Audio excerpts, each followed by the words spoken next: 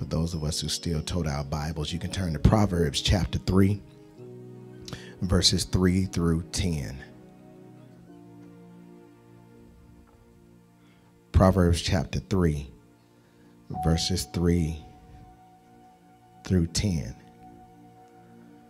And it reads like this Never let loyalty and kindness leave you. God Almighty. Tie them around your neck as a reminder. Write them deep within your heart. Then you will find favor with both God and people, and you will earn a good reputation. Trust in the Lord with all your heart. Do not depend on your own understanding. Seek his will in all you do, and he will show you which path to take. Don't be impressed with your own wisdom. Instead, fear the Lord and turn away from evil. Then you will have healing for your body and strength for your bones. Watch this, Lady T. Honor the Lord with your wealth and with the best part of everything you produce. Then he will fill your barns with grain, and your vats will overflow with good wine. I want to preach from the thought. Where your heart at? Father, in the name of Jesus, we ask that you would give us preaching power for these few moments, God. Speak to me, speak through me, use me as your tool on this morning that we might be enlightened, oh God, to your heart. And so, God, right now, we believe that faith comes by hearing and hearing by the word of God. Use this moment that we might grow closer to thee in Jesus' name. Amen. You may be seated.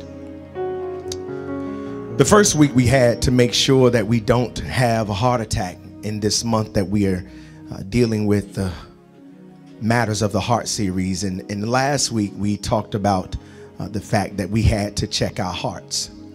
But Vernon, this week, however, the Holy Spirit told me that we had to deal with and ask the question to every believer where is our heart?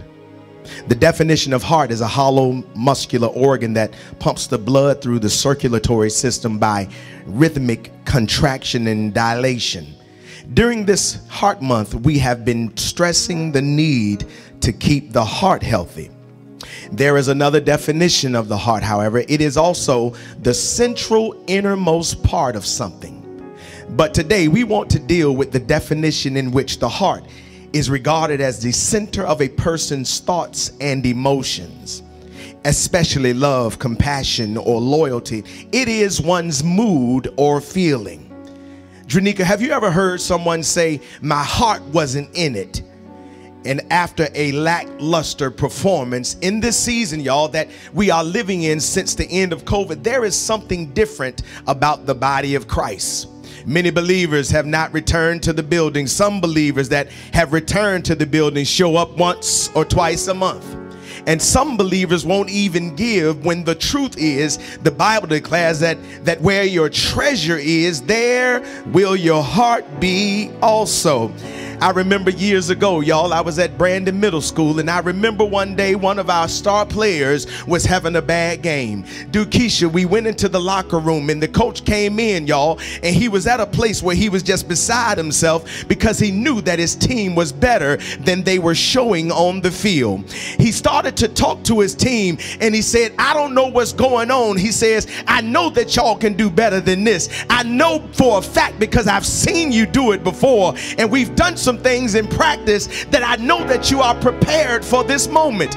And at that moment, I need everybody to catch this because this one brother, the star player, he stands up and he walks over to the coach and he says, Coach, my heart ain't in it. I don't want it no more. And everybody behind them looked up and they began to wonder what in the world was going on because the reality is, y'all, over the years, he had taken some beatings and he had been de- dealing with some personal stuff. And then at that time, y'all, he found himself at a place where he couldn't fight no more. And what God told me is, y'all, that some of us in here have been going through some things over the years, and we have gotten to a place, y'all, where it seems like we are not going to win. But God told me to tell somebody in here that you got to check where your heart at because you got to understand that if God be for you, who is the whole world against you? Do I have at least 10 of y'all in the building that will just rise up on your feet and declare, I've been through hell and high water. I know things have been tough. It looks like I'm losing sometimes, but I got to trust God in the midst of it. Can I get somebody to give God praise in this building and declare, even though I've been through the struggle, my heart is still in this thing? Do I have a worshiper in here that will look at your neighbor and ask them the question, Where is your heart at? Where is your heart at? It's crazy because I don't know about y'all, but every now and then when I'm because I've been through heart disease, it's crazy. Watch this, y'all. There'll be times when I'm sitting in the house and I'll feel something in my chest beat funny, and I'll do like this.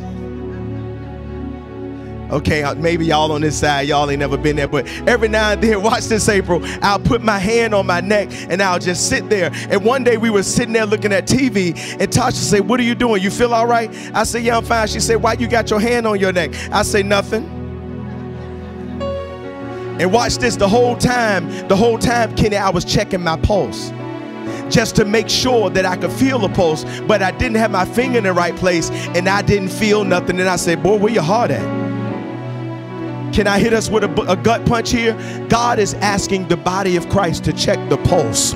He says, because sometimes it seems like you are here, but I don't feel a pulse. You come into church, but I don't feel a pulse. You sit here in the building, but I don't feel a pulse. God is saying sometimes you got to check your pulse and check your heart to make sure that you're still in this thing. Somebody here need to understand sometimes, y'all, we come to church, but we leave our heart at the crib. Do I have anybody here that will declare, when I come to this place, I come with everything that I got? I come to lay my heart before the Lord because God has been too good to me. Do I have anybody in here on a Sunday morning that I don't come in here just because it's a Sunday thing to do? I come in here so that I can figure out where my heart at because the God that I serve been too good to me and I got to show him that I love him and that I'm loyal to him. Evan, the reason why we do what we do is because we check the pulse. And we got to really figure out, watch this, y'all, where our heart is.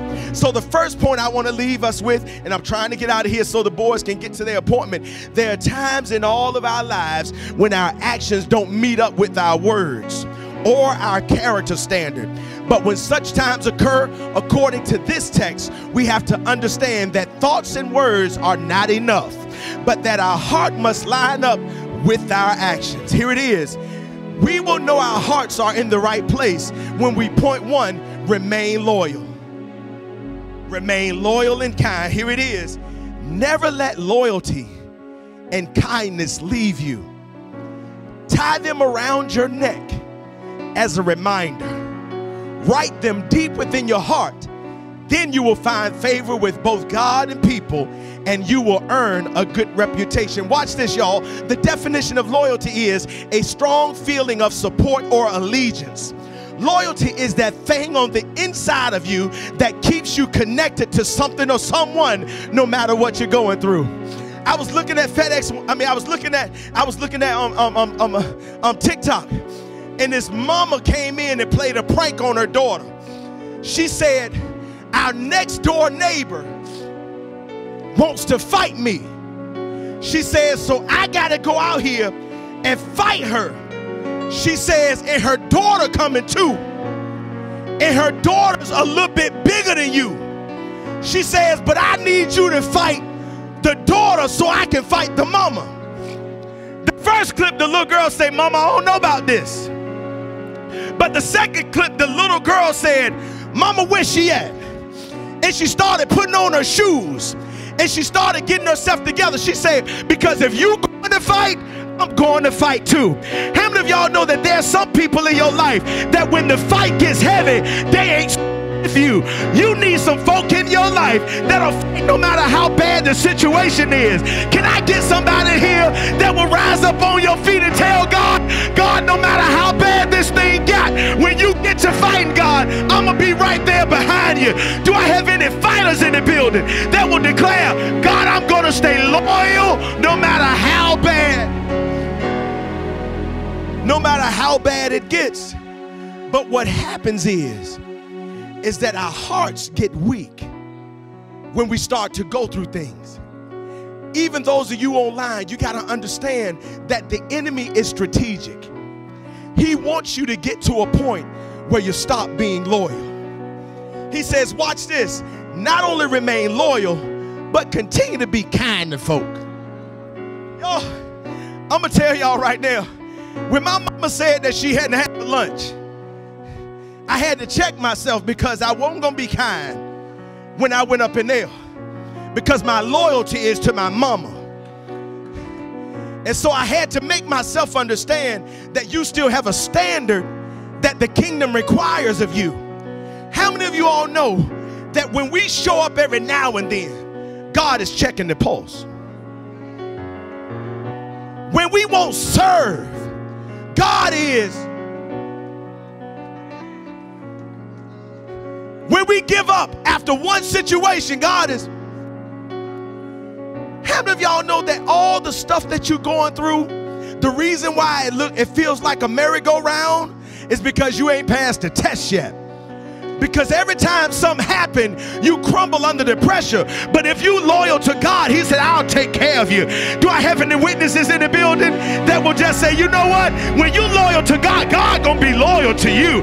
That's the reason why my car is still in the driveway. That's the reason why I ain't been evicted yet. That's the reason why when I to the hospital, I got healed because I serve a God who is loyal to me no matter what I get through. I wish I had somebody that'll get excited because when I think of the goodness of Jesus and all he's done for me, I got to remain loyal.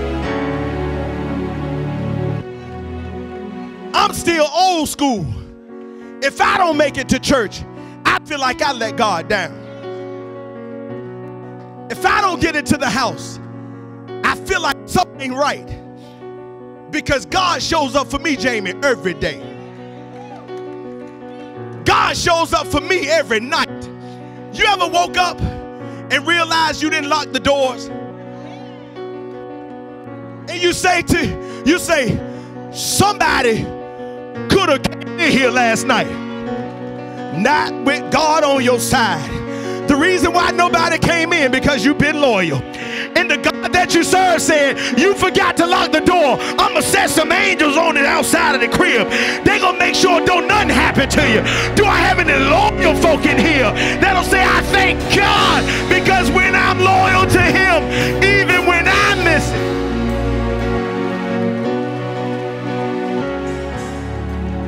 He said, even when you miss it, because you've been loyal, I'll be loyal to you. He said, if you keep doing what I asked you to do, he says, you ain't got to worry about a thing. Watch this. Next point I want to give us is point two is we will know our hearts are in the right place when we point two remain faithful. Here it is, it's in the text. Trust in the Lord with all your heart. Do not depend on your own understanding. Seek His will in all you do, and He will show you which path to take. No matter what life throws at you, Scooby, you got to remain faithful and trust God at all times. Because the Bible says all things work together for the good for those of us who love the Lord and who are called according to his purpose. Got something for you. The other day, my brother had his appointment with the cardiologist. And the enemy was telling me, this ain't gonna be good news. Brace yourself. And, the, and God was saying, didn't I tell you everything was gonna be all right? Watch this. He says, remain faithful. Because watch this, when you doubt God, you're losing faith. So when I called him, he says, I'm on FaceTime. He say, I'm in the doctor's office. I gotta call you back. And you know my brother Sean is a little dramatic sometimes. My bad. So he had his mask on. He say, I'm in the doctor's office. I'm going to call you when I get out of here. So he calls me when he gets out of there. And I said, What'd he say? I said, What'd he say? He said, He said, everything gonna be all right. He said, I say, Well, what about the defibrillator? He says, the doctor said you don't need that yet. He says, he says, watch this. He says, watch this. He says, I've been doing this. Dr. knew nothing but the truth. He said, I've been doing this for a long time, and I've discovered over the years that if I use these two medications, that the patient will recover and won't have to get a defibrillator. He said, so we're gonna put you on those two medications, and I believe that something gonna happen. Do I have anybody in the church today that'll declare, if you remain faithful, the God that we serve will work it out. You just gotta be faithful and trust God and hold on in the midst of what you're going.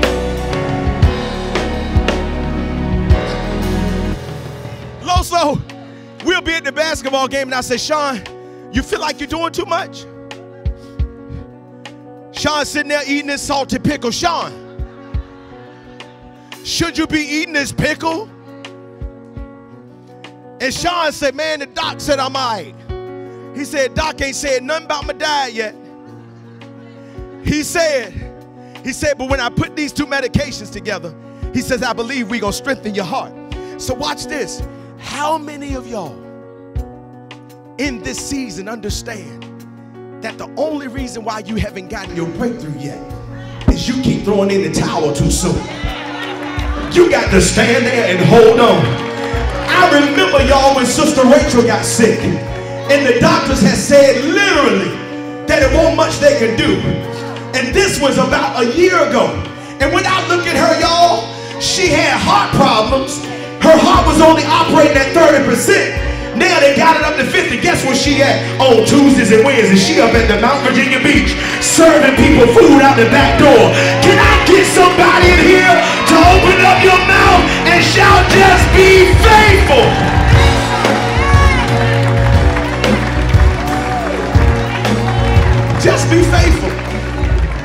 But here's the last, the third thing. I'm going to get out of here.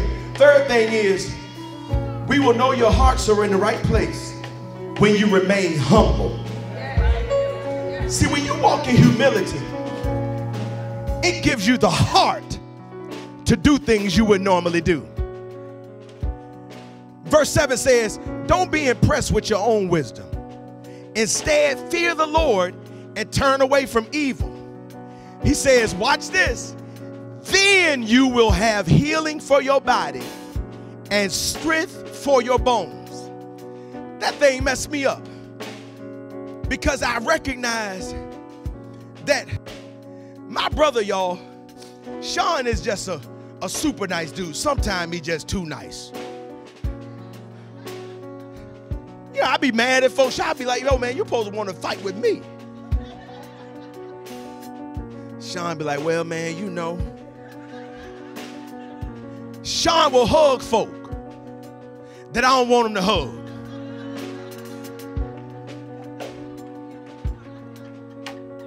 Sean will be around folk. I'd be like, man, why you?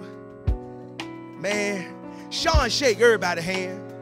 Don't nobody go past Sean without him speaking. I'm like, Sean, you can't speak to all six to eight of these people for us to get out the game.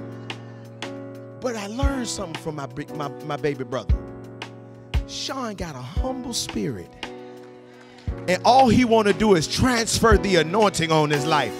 Can you look at somebody and tell them when you stay humble, you will change somebody else's life just by giving them a shout? Can I get some people in here that will just celebrate the spirit of humility and say, all you got to do is know that you ain't get yourself where you are. Every now and then, God will remind you that the reason why you're where you're at is because of Him.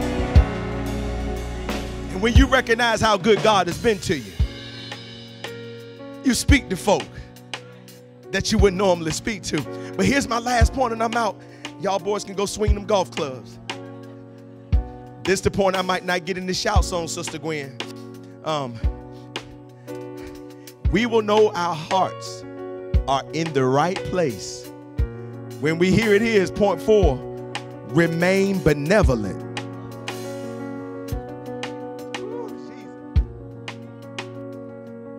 It's in the text, it's not me. It's in the text, it's not me. Watch this. I can just read verse 3 and walk off the stage. Verse 9. Watch this, y'all. Honor the Lord with your wealth. Can you just look at your neighbor and say, neighbor, why you struggle with your tithe? Don't you know you wouldn't have nothing if it won't for the Lord? Oh, I wish I had somebody that felt that right there. If it weren't for the Lord, you wouldn't have nothing to give. But is there anybody that's glad today that when it's time to give, you got something in your pocket that you can be a blessing to somebody with? I wish I had some church folk in here that understand that, that when I give, it'll give it back unto me. Be given to me, pressed down, shaken together, and running over. Anybody ready for overflow in this building? You got to remain benevolent, and God will begin to pour blessings. Watch this.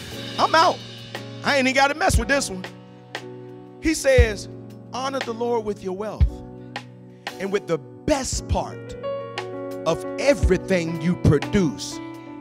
Can you nudge your neighbors? Tell your neighbor, neighbor, stop giving God what's left.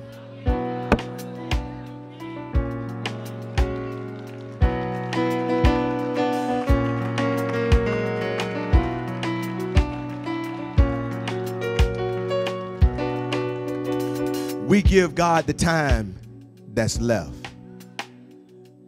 We give God the money that's left.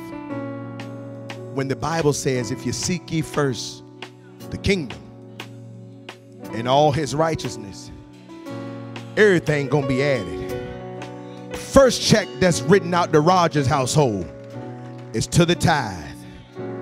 Because he says, bring me your best and you should give it to me first. Watch this. Listen, y'all, listen. He says, Then he will fill your barns with grain, and your vats will overflow with good wine. Y'all, I have seen God do some amazing things in my life. Y'all, watch this. I'm building this shed in my backyard. And ain't nothing cheap these days.